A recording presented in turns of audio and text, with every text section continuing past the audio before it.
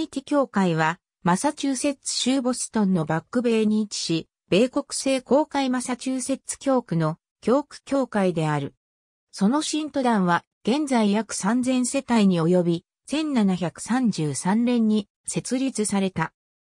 現在の教区牧師は、アンボニーマン牧師。毎日曜日に礼拝が4回行われ、9月から6月までのウィークデーでは週3回行われている。トリニティ教会は高教会派と考えられる傾向にあるが、広教会派であり続けている。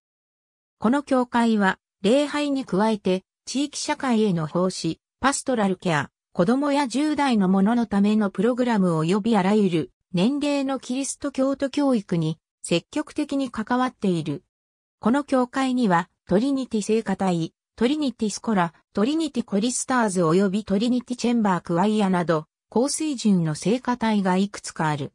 1872年のボストン大火でサマー通りにあった元のトリニティ教会が焼けた後、現在の教会建物は当時の最もよく知られ、カリスマ的説教師だったフィリップス・ブルックス牧師の指示で再建された。教会と牧師館はヘンリー・ホブソン・リチャードソンが設計し、建設は1872年から1877年まで行われた。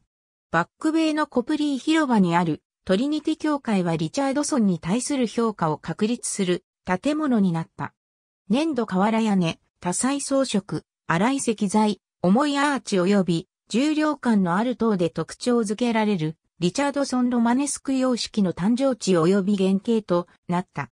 このスタイルは間もなくアメリカ合衆国中の多くの公共建築物に採用され、ヨーロッパやカナダでも法されたことでは、最初のアメリカ建築様式となった。トリニティ教会の聖団トリニティ教会では毎日曜日に礼拝が4回行われるが、この中には説教や追加成果を含む今では稀になった典礼愛派や祈り式の修正版が含まれている。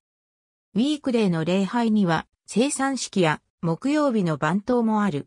毎月第一日曜日の使用礼拝として、プロテスタントの伝統である生産式を行い、またその後の日曜日には、葉や等を行うことなど、東大の聖公会教会としては通常と異なる。毎年12月にトリニティ教会の聖歌隊がサンドロー即答、キャロル礼拝を繰り返す。これらはボストンの伝統であり、大変人気ある行事なので、はるかメイン州からの参会者も合わせ5000人近くが出席する。12月のコプリー広場における伝統的な光景は、この無料行事のために教会に入る順番を待つ長い人の行列である。この礼拝は、ケンブリッジのキングスカレッジで発展した9つの聖書朗読と歌によるクリスマス礼拝をもとにしている。トリニティ教会はボストンの中央に位置すること、多くの座席があること、及び教会が進んで門戸を開き、ボストンの教会であるという評判のために、一年中多くの特別礼拝がある。これらの礼拝には、アメリカ同時多発テロ事件の直後に始まった異教徒間の礼拝、2005年7月のロンドン爆破事件の後の同様な礼拝、多くの著名な総礼、監督性別式等が含まれる。日曜の礼拝は次の通りである。ウィークデーの礼拝は次の通りである。トリニティ教会の聖歌隊は礼拝を支援する本来の機能に加えて、ボストンの豊かな音楽界の定番となっている。トリニティ聖歌隊は後半にツアーを行っており、批評家に称賛されたいくつかの録音でも聞くことができる。トリニティコリスターズは、教会音楽ロイヤル学校の伝統に沿って音楽と歌唱を学んでいる子供たちの合唱隊である。現在の音楽監督は、オルガン奏者のマイケル・クライン・シュミットであり、20年間、務めたブライアン・イー・ジョーンズの後を継いだ。トリニティ聖歌隊とトリニティコリスターズは2010年8月にイギリス演奏旅行が計画されており、イーリー大聖堂とチチェスター大聖堂での演奏が予定されている。振動と内陣のオルガンには121の音線、113の音階及び6898本のパイプがある。この教会は多くの形態の地域社会奉仕と社会正義を司る官庁を支援している。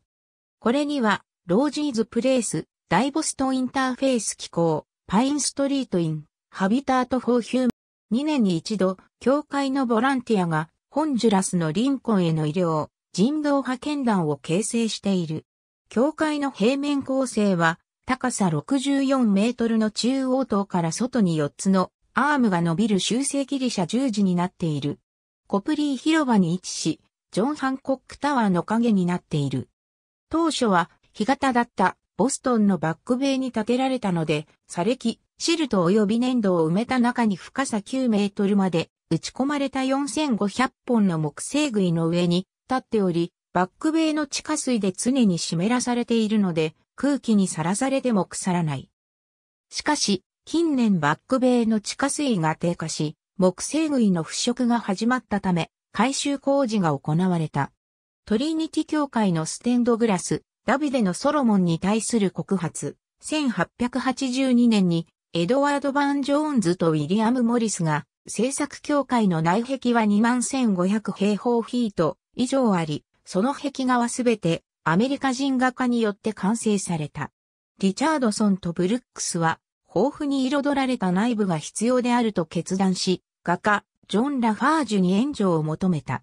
ラファージュは、このような規模の注文を受けたことはなかったが、その重要性を認識し、必要とされる費用のみを請求した。その結果ラファージュの名声を確立することになった。1877年に建造された時の窓は一点。4つのステンドグラス窓は、エドワード・バーン・ジョーンズが設計し、ウィリアム・モリスが製作した。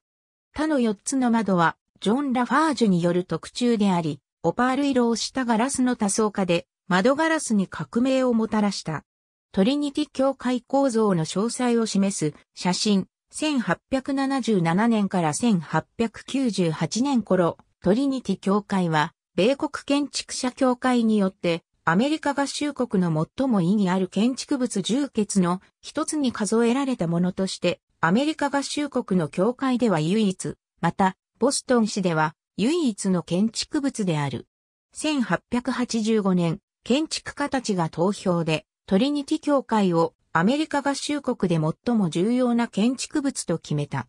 米国建築者協会が作る重欠リストで当初の1885年から現在まで入っている唯一の建築物にもなっている。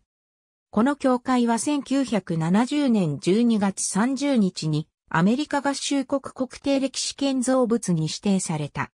またこの教会にはダニエル・チェスター・フレンチやオーガスタス・セント・ゴーデンス制作になる彫刻も収められている。ありがとうございます。